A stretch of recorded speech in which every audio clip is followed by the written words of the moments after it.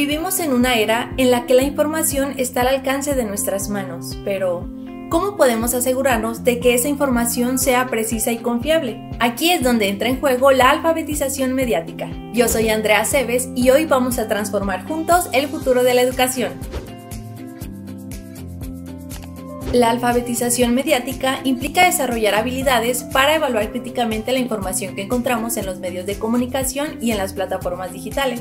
Es vital aprender a identificar noticias falsas, distinguir entre opiniones y hechos y evaluar la calidad y la credibilidad de las fuentes. La alfabetización mediática no se trata solo de ser consumidores pasivos de información, también implica la capacidad de interpretar y analizar el contenido que encontramos. Esto nos permite entender cómo se construye la narrativa y reconocer los sesgos presentes en los medios de comunicación.